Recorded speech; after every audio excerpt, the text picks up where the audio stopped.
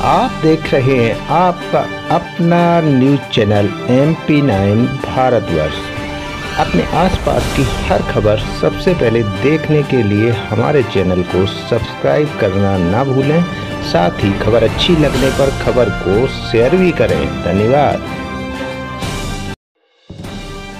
खबर अब भिंड ज़िले के लाहौर से है, जहाँ लाहौर थाना प्रभारी द्वारा आईपीएल मैच में सट्टा लगा रहे एक व्यक्ति को गिरफ़्तार करने में सफलता हासिल की है। उक्त व्यक्ति के कब्जे से पुलिस को एक मोबाइल, अट्ठाईस सौ बीस रुपये नकद व 20 लाख रुपए का सट्टे का लेन देन बरामद हुआ है।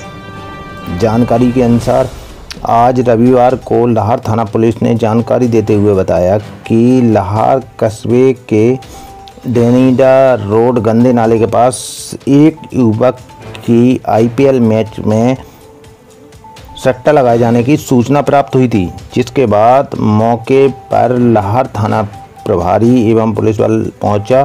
तो वहाँ से एक युवक, जिसका नाम अंकित गुप्ता पुत्र विनोद कुमार गुप्ता बताया जा रहा है, जो लाहौर के सब्ज़ी मंडी में रहने वाला है।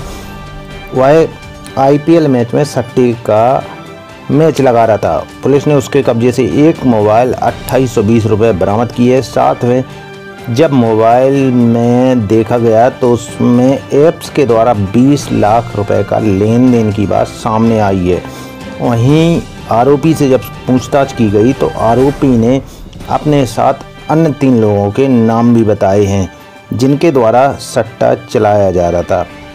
पुलिस के अनुसार बताया जा रहा है जो तीन आरोपी हैं, उनके नाम कपिल माते निवासी सेवड़ा कपिल गुप्ता निवासी गोविंदपुरी ग्वालियर एवं राहुल सुमादिया निवासी, लोहिया चौक, लाहौर। इनके द्वारा सट्टा खिला करके अवैध लाभ कमाया जा रहा था। पुलिस ने उक्त आरोपी को गिरफ़्तार कर जेल भेज दिया है। वहीं तीनों की तलाश जारी है।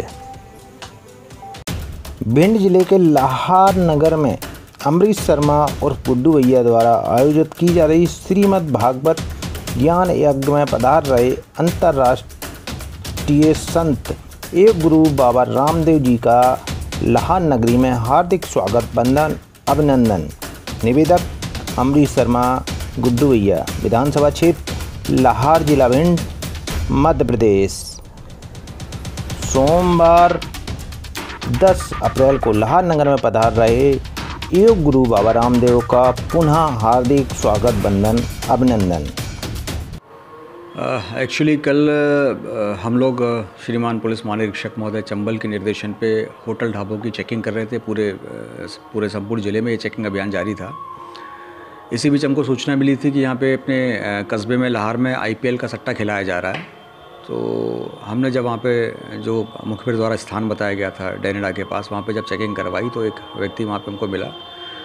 और उसके पास जेब में कोई अट्ठाईस, उनतीस रुपये कुछ थे और एक मोबाइल फ़ोन था। जब मोबाइल फ़ोन खुलवा के उसको अपना सर्च किया, उसके चेक किया गया तो उसमें एक दो ऐप्स थे, जिन ऐप के थ्रू करीब आईपीएल के सट्टे का बीस लाख रुपये का लेन देन का कारोबार उसमें पाया गया था। तो प्रथम दृष्टि अपराध प्रमाणित पाए जाने से उसको हमने गिरफ़्तार किया जाकर वहाँ पे कार्रवाई करी। उसमें संबंधित लोगों ने कार्रवाई करी और पूछताछ के दौरान उसने तीन लोगों के नाम और बताएँ जो लोग और आईपीएल के सट्टे का कारोबार कर रहे हैं उनकी तलाश अभी जारी है, उनके, उनको भी ट्रैक कर रहे हैं और जैसे ही मौका मिलेगा उनको भी रंगे हाथों पकड़ने का प्रयास करेंगे।